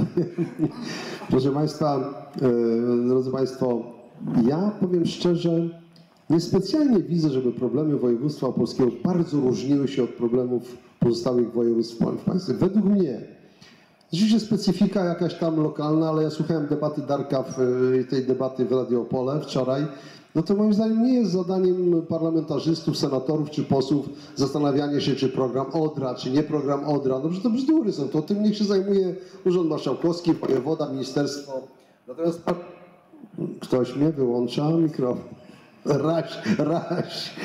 Proszę Państwa, e, natomiast zadaniem e, parlamentarzysty, tak jak ja to widzę, jest tworzenie systemu prawnego tak, żeby on funkc- żeby w ramach, żeby w ramach tego, może, może przepraszam Państwa, żeby, żeby, tak, tak, nie tym razem mój kolega z Nysy, taki, który mnie dręczy telefonami. E, I drodzy Państwo, w związku z tym system prawny. Problemem województwa naszego jest fatalne działanie sądu okręgowego w Opolu i cywilnego i e, karnego, fatalne działanie sądu rejonowego w Opolu, fatalne działanie sądu rejonowego w Nysie, korupcja z tym związana, fatalne działanie prokuratury i policji, która, która przymyka oczy na przestępstwa policjantów na przykład. Nie wymienia miastami, a powie całym No w całym, w całym województwie. No to, to, znajdziemy to wszędzie. Wszędzie znajdziemy. I to są problemy ogólnopolskie. I te problemy jako parlamentarzyści musimy rozwiązać. Jak ich nie rozwiążemy, to żadne województwo się nie będzie rozwijać. Dzisiaj bieda dochodzi do Warszawy, proszę Państwa. Chociaż oni wysysają jak polip z Polski, ta Warszawa wysysa wszystko, bo tam wszystkie urzędy są scentralizowane i tam pieniądze płyną, ale już tam trudno dzisiaj znaleźć pracę. Już ludzie młodzi wykształceni mają rozwiązać to jak? Bo tu wszyscy wiemy, że jest bałagan, a chcielibyśmy wiedzieć, jak pan to rozwiąże. Mamy konkretny, ja chętnie po- wypowiem się, ale oni mnie, widzi pan jak mnie ograniczają, no nie tak się wypowiedzieć. Już mnie, już mnie, To będzie jako riposta. Pan Janusz będzie miał możliwość później jeszcze. dziękuję, ale proszę zobaczyć jak mnie tu traktują po oczach Tak. Pan, Dziękuję. dziękuję. Pan Mirek Patoła. No ja się zupełnie nie zgodzę z kolegą Sanockim. Je- Jednak jest nas 12 posłów z województwa opolskiego i nie możemy mówić, że cały kraj ma problemy, tak? To może jako Kukiz 15 głosujmy, nie wiem, za autostradą gdzieś na Mazowszu czy w Białymstoku. Nie. Musimy jednak, tak jak tu jeszcze żeśmy się za łby nie wzięli przy tym stole, jako ci przyszli parlamentarzyści, mam nadzieję, dążyć do pewnych wspólnych y, celów, jeśli chodzi o województwo, tak?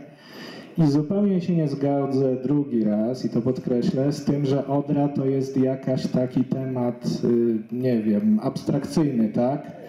No, y, kolega może nie jest zorientowany, natomiast my jako kraj y, możemy pozyskać jedne z największych pieniędzy, jeśli chodzi o budowę Pieniędzy nie. Jedno z największych pieniążków, tak? Jeśli chodzi o, o inwestycje y, drogi wodne, Janusz, nie rozpraszaj mnie, bo zażądam dodatkowych 30 sekund za takie wjazdy. Y, Nie podpisaliśmy co prawda konwencji AGN, która blokuje nam dopływ do, do tych pieniążków, natomiast możemy pozyskać pieniążki na budowę y, Odry w klasie czwartej żeglowności i nie ma się co śmiać, ale da nam to wszystkim około 20-30 tysięcy miejsc pracy. Popatrzmy, co teraz się robi wokół Ostrawy, jakie tam są prowadzone inwestycje. Popatrzmy, co zrobił samorząd, y, jeśli chodzi o Jaszczębie. Oni wiedzą, że niedługo będzie trzeba zamknąć kilka kopalń. Co oni robią? Oni skupują grunty.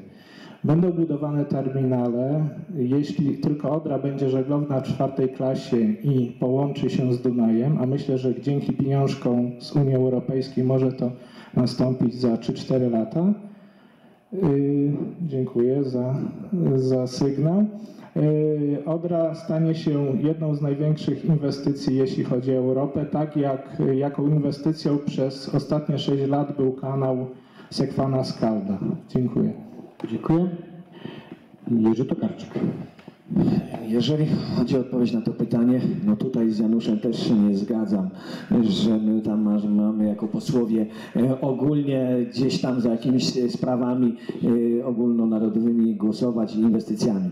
Mm, Mało tego, to jest sprzeczne z tym, co chcemy wprowadzić, czyli jednomandatowe okręgi wyborcze. Taki poseł z takiego okręgu no, musi się identyfikować z tą społecznością, która go wybrała, bo ponieważ na, drugiej, na drugą kadencję to już nie ma szans. Czyli musi wspierać lokalnie swo, swo, swoją grupę, swoje województwo e, i, i optować e, właśnie za rozwojem tego województwa. E, No, wiesz, przechodząc do problemu województwa opolskiego, no, to tak niepokojącym sygnałem już od dawna jest to, że się wyludniamy. Jest nas coraz mniej. Ten biznes nie, nie jest taki, jak- jaki był na początku, bo na początku gdzieś y, kilka czy kilkanaście lat temu y, u nas całkiem fajnie się to rozwijało, rozwijała się przedsiębiorczość. W tej chwili dość mocno y, siadło y, ta, ta sprawa. Y, No, te inwestycje Odra i tak dalej, czy, czy tutaj plany regulacji Odry jak najbardziej, to jest dla nas też szansa i to duża i tu się zgadzam z panem Patołą. No ale no, mamy też w, w stosunku na przykład do Dolnośląskiego fajne drogi. Tutaj to jest e, od razu, jak tylko się przekracza granicę, ja akurat mieszkam e, na, na takiej, na pograniczu tych województw, no to dokładnie to co dzień widzę. No mówię, przekroczy, no znalazłem się w Dolnośląskim Boszczepie. Także zadbaliśmy całkiem fajnie, tylko w tej chwili no kontynuujmy, ale nie zasypujmy gruszek w popiele. Walczmy o swoje inwestycje i ja też jak będę posłem będę walczył na rzecz Dziękuję. Dziękuję bardzo. Grzegorz Nawiślak. Proszę Państwa, infrastruktura to w organizmie, zdrowym organizmie to żyły, tak, tętnice. Więc Odra to jest ta tętnica, która doprowadza świeżą krew do tego regionu, do tych narządów, które są y, powiaty i w ogóle całe województwo. Także tutaj nie ma jakby dyskusji. Wiadomo, że to jest strategiczna inwestycja y, dla Opolszczyzny. Infrastruktura y, drogowa to jest y, kolejna sprawa. Nie jest najgorsza, może być nawet lepsza ale ja bym chciał zwrócić na jedną rzecz uwagę. Yy, Przede wszystkim Opolszczyzna słynie z jednego. Mamy tutaj dobry, naprawdę przemysł rolniczy, tak, rolnictwo. O tym się nie mówi, ale musimy tak stworzyć warunki pracy tym rolnikom, żeby tworzyli grupy producenckie, które będą potrzebowały obsługi, tak? Bo taka grupa producencka potrzebuje transportu, więc powstaje firma transportowa, która pomaga tym grupom. Y, Te grupy będą generowały naprawdę duże przychody w danych regionach, bo y, takich warunków, jakich tu mamy, takich ziem, mogą nam pozazdrościć inne województwa. Pomijam fakt, że przemysł, który tutaj był i też nie był zły, został zniszczony. Tego przemysłu już praktycznie nie ma. E, I na pewno jako poseł przyszły będę lobbował za inwestycjami, które mogły być tutaj ulokowane. Poseł musi być związany ze swoją ziemią. Poseł, ja, ja się stąd, tu się urodziłem i będę robił wszystko, e, żeby moje nazwisko nie było traktowane e, i oszkalowane w zły sposób. I no tyle. Dziękuję. Pan Łukasz Szewczyk. Dziękuję. Ja dla odmiany nie urodziłem się na Opolszczyźnie, ale już dożyłem tego, już dożyłem tego czasu, że mówię u nas na Opolszczyźnie. Już ten czas minął. E, Na Opolszczyźnie mieszkam od roku, od 2002 roku. E, I już, już od dłuższego czasu mówię u nas na Opolszczyźnie. E, Drodzy Państwo, Oczywiście mm, możemy teraz wymieniać i stwarzać e, problemy, m, które najbardziej doskwierają Opolszczyźnie na potrzeby chwili, E, ale to nie jest zarzut do przedmówców w żadnym wypadku. E, Natomiast ja, ja powiem Państwu, e, o jakich ja problemach się dowiedziałem na Opolszczyźnie, jakby działając tutaj na, na, na lokalnym terenie. E, Dowiedziałem się, bo nie miałem takiej świadomości, dowiedziałem się o problemie tej że- żeglowności, żeglowności Odry.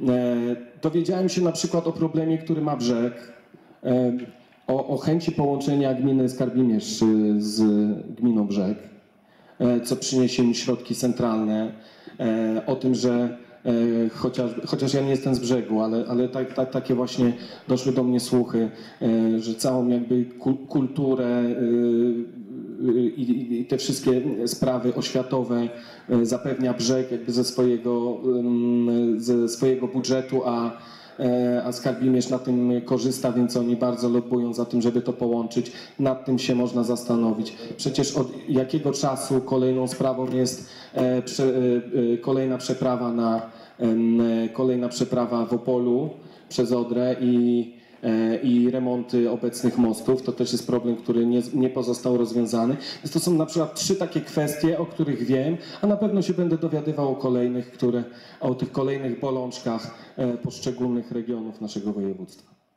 Dziękuję bardzo. Czy Opolszczyzny, bo ta Opolszczyzna to jest tak ciężko mówione, Śląsko-Polski. Dlatego mówimy Śląsko-Polski, wyjaśnię dlac- dlaczego. Dlatego, że odwołujemy się do wielkości Śląska i do, do Śląska jako takiej krainy historycznej. Niech sobie ona tam będzie. Mam pytanie dla kandydatów e, wszystkich. Po kolei te półtorej minutki znowu już Wam odmierzę, że tak powiem. E, czy jesteście za uznaniem e, odrębności etnicznej Ślązaków? odrębności etnicznej Ślązaków. Nie chciałbym, żeby ten temat zdominował, ale po to między innymi przyjechałem, żeby, żeby wysłuchać. No żałuję, że reszta komitetów wyborczych nas olała po prostu, ale, ale my nie boimy się, nie boimy się środowisk narodowych, tak jak to Mirek pokazuje cały czas. Nie boimy się z Wami rozmawiać. Proszę też to docenić, potraktować z kulturą i spokojnie na to pytanie odpowiedzieć jak każdy. e, pierwszy pan Łukasz Szewczyk. Drodzy Państwo, ja y, kiedy usłyszałem o ruchu autonomii Śląska, miałem mm, bardzo mylne wyobrażenie na temat tego stowarzyszenia. I, i, kiedy, i kiedy, do mnie, kiedy do mnie dzwoniono, nawet y, wspominano, a może słuchaj Łukasza, może byśmy się spotkali z ruchem autonomii Śląska, ja się zawsze od tego wzbraniałem, mając mylne wyobrażenie, że to jest... Y, y, ja zawsze mówiłem, że ja, ja, ja nie potrzebuję rozmawiać z bojówką mniejszości niemieckiej. I takie wyobrażenie istnieje w Polsce. Generalnie, nie w regionie tutaj, tylko w Polsce. Ja miałem to wyobrażenie jeszcze z, z województwa warmińsko-mazurskiego na temat ruchu autonomii Śląska. Natomiast y, y, czy y, pytanie dotyczyło, czy, czy jestem gotów uznać Ślązaków jako mniejszość etniczną.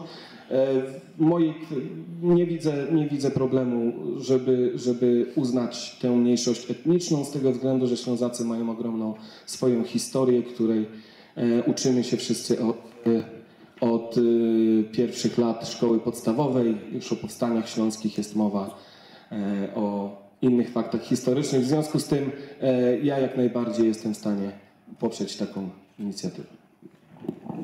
Dziękuję pan Grzegorz Zawiślak. Ja jako urodzony na Śląsku, aczkolwiek y, korzenie moje są bardzo różne, bo i wschód i Pomorze, czyli ja powiedzmy inny, bardziej y, tamte rejony, y, centralna Polska, ale urodziłem się tutaj. E, Każda grupa etniczna ma prawo do tego, żeby stanowić o swojej tożsamości. I to popieram z każdej strony. Y, Nie widzę przeszkód, żeby mm, taki, taki, taką decyzję poprzeć, bo no dlaczego nie? Ważne jest, żebyśmy się wszyscy czuli Polakami i wiedzieli, w jakim kraju żyjemy. My możemy mieć różne poglądy, my możemy mieć różne przekonania, różne korzenie, ale mam być tożsamością związani z Polską. I to jest dla mnie clue. Więc y, jeżeli my będziemy nie odcinali się od tej Polski i y, w postulatach nikt nie będzie y, żądał y, autonomii na zasadzie wyodrębnijmy sobie totalny kraj, bo my jesteśmy tak wymieszani, że nie będziemy w stanie tego zrobić. To będziemy musieli, tak jak Stalin zrobił po pierwszej, II wojnie światowej, poprzesiedlać ludzi, tak, tu robimy granice, pak, tu mieszkają Ślązacy, tu mieszkają Polacy, tam mieszkają Niemcy. Nie. Więc to musi być przenikać, oczywiście jako grupa etniczna jak najbardziej, ale mówię w systemie tak, jaki mamy, tak? W systemie, że jesteśmy jednym krajem, różne narody, różne korzenie, różne pochodzenie, e, wymieszane, naprawdę wymieszane, ja też jestem wymieszany bardzo mocno e, i ja to rozumiem. I popieram. Dziękuję bardzo, pan Jerzy Tokarczyk. Ja obawiam się, że e, taki ruch spowoduje to, że będziemy się dzielić. Bo no, natura ludzka jest taka, że po prostu coś no, powstaje, co, coś nowego i zaraz będą mówić, ach, to Niemcy się organizują, albo piąta kolumna i tak dalej. Ja bym tutaj wolał, żeby to było tak jak do tej pory. A jeszcze taka refleksja, no Niemcy jakoś nie chcą używać mniejszości polskiej u siebie i, i to, jeżeli oni to zrobią, to ja popieram. A dzisiaj mam takie zdanie, powiedzmy sobie, no boję się czegoś takiego tylko dla, dla dobra Polski, dla dobra naszego regionu, żebyśmy się nie dzielili. Jesteśmy małym województwem, jesteśmy małym województwem, jeszcze zaczniemy się dzielić, to proszę Państwa, to w końcu to województwo nam zlikwidują. Bo takie są też zakusy. Proszę tutaj, ja, ja bardzo bym był ostrożny. Naprawdę nic nie mam tutaj przeciwko tej grupie etnicznej, bo mam wielu znajomych i, i lubię ich folklor i tak dalej. Także że szczerze, ale mam duże obawy. Dziękuję. Ciekaw jestem, co Mirek odpowie. Nie, patola. Powie, że nie. Powie, że nie. Słuchajcie, trudno być adwokatem w swojej sprawie, tym bardziej, że jako punkt programu mam doprowadzenie do końca procesu legislacyjnego, bo nie wiem czy wiecie, ale już w drugim czytaniu prawie jest projekt społeczny dopisujący jedno słowo. To w polskim Sejmie trwa dwa lata już. Pierwsze czytanie było prawie równo rok temu, profesor Kadłubek.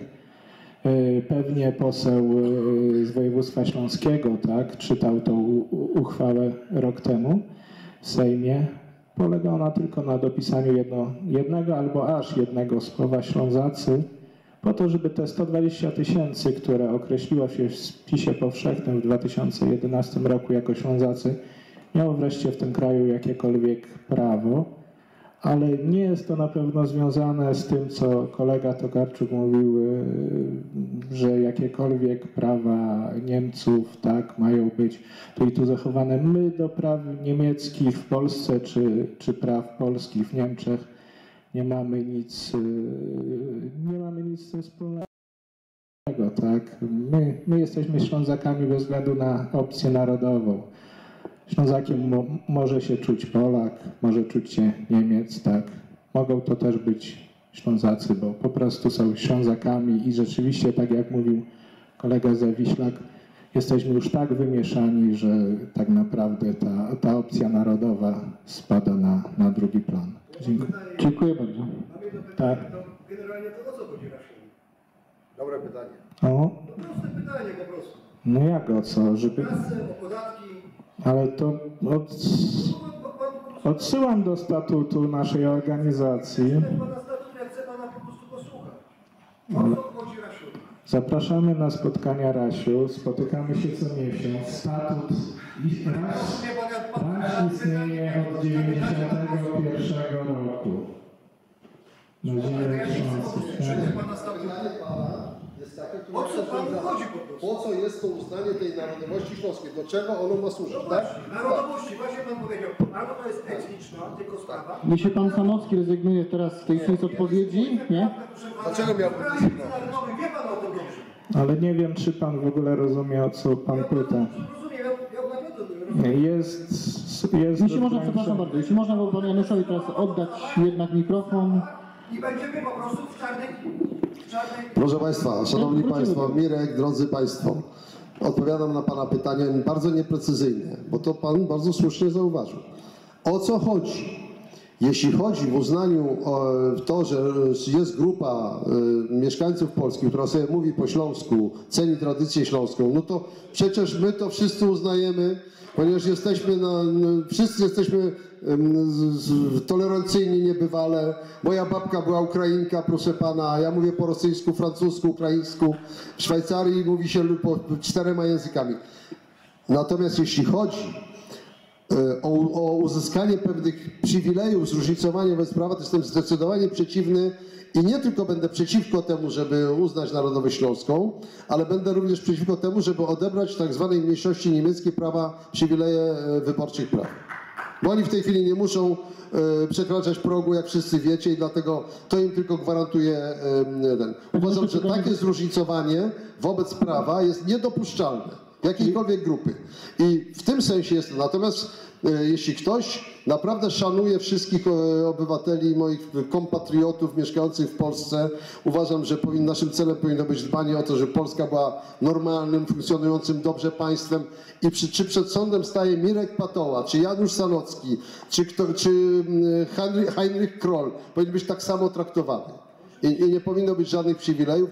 I w tym sensie jestem przeciwny, jestem przekonany, że gdyby nie było tych przywilejów dla mniejszości niemieckiej, to nigdy by ta inicjatywa Rasiu nie powstała. Ona jest w pewnym sensie dobra dla nas y, Polaków, tak między nami mówiąc, bo ona jakby osłabia y, mniejszość niemiecką, ale z drugiej strony jest groźna, dlatego że, że zaczynamy myśleć, dajemy się wszyscy wpuścić w kanał tego myślenia tych przywilejów grupowych, prawda? I ja jestem przeciwko takiemu e, rozumieniu, nie wiem czy, czy dostatecznie. A prawa mają być jasne, takie same dla każdego. Czy on jest, proszę pana, po, po rosyjsku mówi, czy po polsku, czy jeśli jest obywatelem Polski, ma mieć takie same prawa. Y, Ja chciałem przerwać panu Januszowi, ponieważ pan Janusz powiedział, że y, jest za tym, żeby utrzymać mniejszości niemieckiej, a mówią, mówiąc, że, że zabrać. Zabrać! Tak. Zabrać Tak? przywileje Pan- wyborcze mniejszości niemieckiej. Pan Piotr chciał pytanie inne zadać? nie chce mają.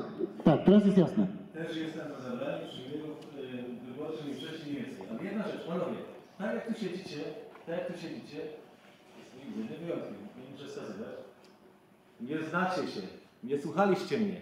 Kultura i wiedza wasza jest znikła, dlatego że z tego, co mówicie, to pa- Kaszubom powinno się odebrać narodowość etniczną kaszubską. Ale My o to samo walczymy, o to samo co Kaszubi. To czemu Kaszubi mogą mieć, a nie mogą mieć Ślązacy? Czy oni mają prawa wyborcze Kaszubi? Nie mają. Mylicie. Ja muszę dokończyć. Muszę dokończyć, proszę, proszę. I to, i to wyjaśni sprawę, naprawdę. Słuchajcie, mniejszość narodowa i mniejszość etniczna to są dwie różne sprawy. Nie wyłowiliście to tak, jak tu siedzicie. Nikt z was nie wyłowił. Wszyscy się do tego... A czego dotyczyło, czego dotyczyło pytanie? Mniejszość etniczna, a wy się odnosicie do narodowej. Co się wtrącacie? Nie trzeba. Nie trzeba.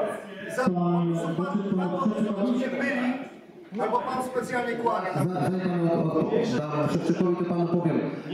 Mniejszość etniczna, to proszę pana, doskonale wiem, bo moi przodkowie są kaszubami. Wiem. I wiem, co, o czym pan, dlatego mówię, na zasadzie, nie mówiłem o mniejszości niemieckiej, na zasadzie wspólnej ojczyzny, wspólnych praw dla wszystkich, ja nie widzę przeszkód. Pod warunkiem, że nikt się nie będzie wyłamywał e, ze swoimi jakimiś dodatkowymi przywilejami. To jest wszystko. No ja o tym mówiłem. Był pan łaskaw zarzucić mi to, że nie słuchałem, co pan o co pan mnie zapytał. Nie, nie, pan Dokładnie. I ja mówiłem, i i pan zapytał o uznanie mniejszości etnicznej. tak jest. Jak najbardziej. A pan Patoła powiedział o narodowości. A to jest różnica w prawie. y, y, w- w prawie. I potem Dokładnie. wyrzucuje na prawo międzynarodowe. Dokładnie ma pan rację. Prawniczo, a nie Tak po prostu, pan. Ale niech pani nie zarzuca po prostu czegoś, czego ja po prostu bardzo dobrze słucham Patoła. Pan ma rację, chodzi o uznanie narodowości No ale to też pokazuje, że bardzo dobrze, że jest dyskusja. Te, te słowa zawarte w ustawach i po prostu Polacy będą normalnie w czarnej, jak to się mówi? Dziurze. O, chcę wam zadać pytanie. Była manifestacja dzisiaj. Skandował ym, jeden z haseł skandowanych, czy wszyscy, czy nie wszyscy skandowali, było Polska dla Polaków. Proszę o to, żeby każdy z was się do tego odniósł. Jeśli Łukasz chciałbyś wcześniej. Mogę pierwszy? Jak najbardziej. Dobrze. Ja kiedyś miałem okazję pisać yy, na ten temat, takie krótkie przemyślenia. Ale to jest może kwestia tego, jak ja rozumiem, yy, jak ja rozumiem hasło Polska dla Polaków. Bo dla kogo innego? To znaczy, Polska jest dla Polaków, a Polacy są dla Polski.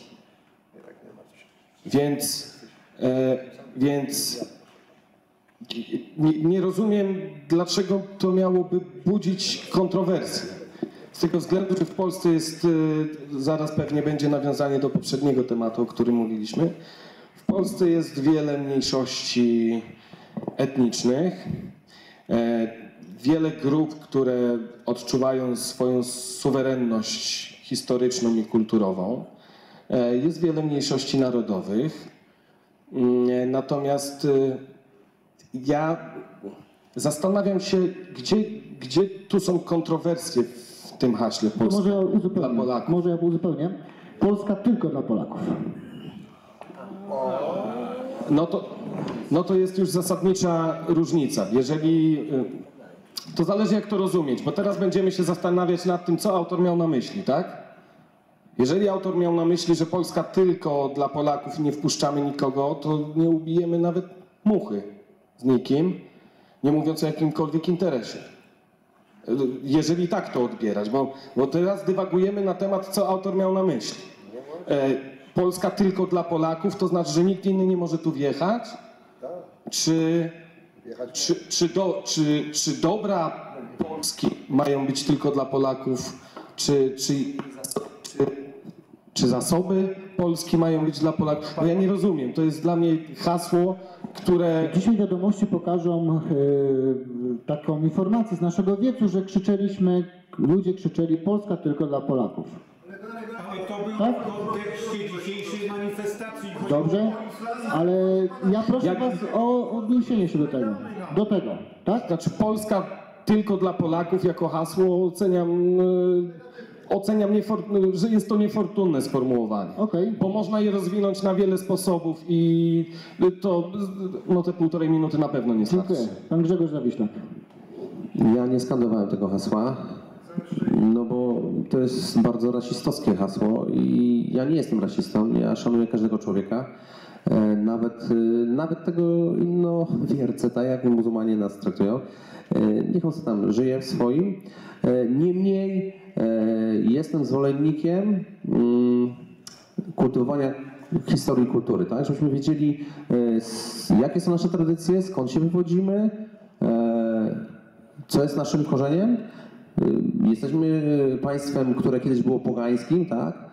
W którymś momencie staliśmy się chrześcijańskim. No myśmy wyrośli w, w kulturze chrześcijańskiej, więc ja tych wartości będę bronił. Dla mnie te wartości są jakby nadrzędne. E, Jeżeli ktoś y, czuje się Polakiem i chce w Polsce stanąć obok mnie i też tych wartości bronić, no to okej, a jeżeli ktoś się czuje Francuzem i będzie bronił moich wartości polskich, no to super. Więc hasło jest totalnie niefortunne i, i przekaz tego hasła y, nie odzwierciedla chyba tego, co chcemy czasami powiedzieć, tak? Bo my chcemy powiedzieć, że tu w Polsce nie ma miejsca, żeby Polacy byli wykorzystywani przez Polaków albo obcych. Dziękuję. Mierz do Karczyk.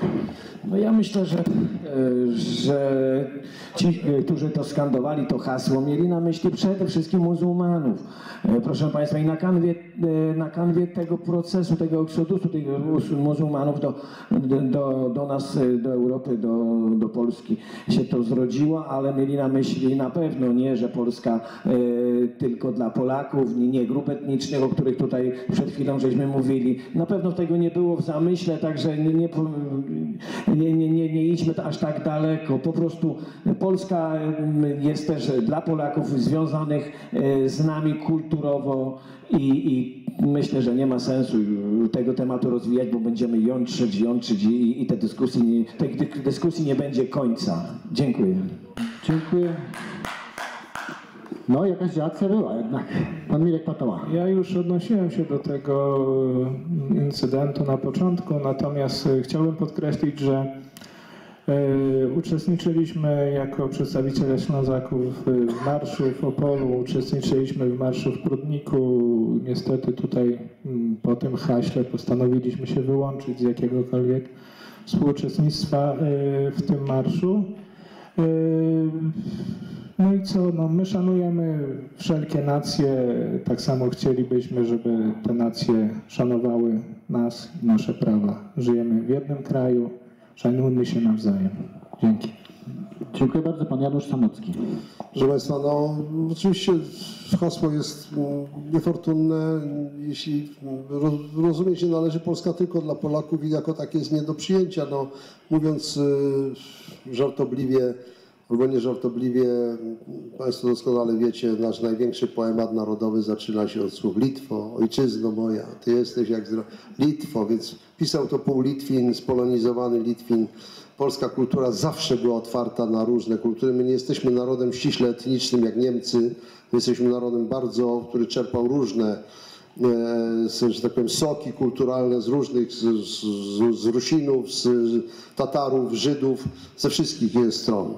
I dlatego my nie możemy wręcz, i to jest obca naszej, naszej tradycji narodowej wręcz, dlatego ja się z tym nie zgadzam i troszeczkę mnie, że tak powiem, prawdę powiedziawszy, zniesmaczyło ten moment, kiedy ci młodzi ludzie skandowali, aczkolwiek może rozumiem ich, że oni jakby w ten sposób podkreślają swoją, no próbują tą tożsamość, którą no może kiedyś rozbudują, jakoś zrozumieją więcej trochę niż tylko takie ścisłe. Na pewno nie powinni, powin, e, narodowość według mnie, nie, nie mam czasu na rozwijanie tego, ale właśnie moje doświadczenie z, ze Szwajcarami, a, a ono pierwsze było wtedy, kiedy siedziałem w, w stanie wojennym i tłumaczyłem, znam dobrze francuski, jak były e, delegacje Czerwonego Krzyża i próbowałem im wytłumaczyć kazus chłopaka, który miał paszport sowiecki e, z Głogowa, by, tam mieszkał i był w Solidarności, został internowany. Ja im próbowałem wytłumaczyć, że jest różnica między citoyenneté, obywatelstwo i nacjonalité, narodowość. Oni tego za ząb nie rozumieli. Dla nich ten, kto ma paszport, takim jesteś, na, no, jesteś narodowości.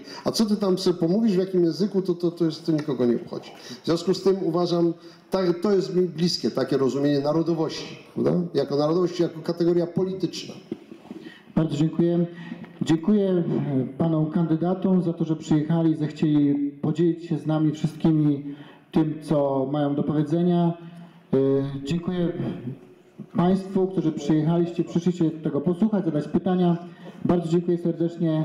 Czas nam się kończy. Do usłyszenia, do zobaczenia Państwu. Dziękuję.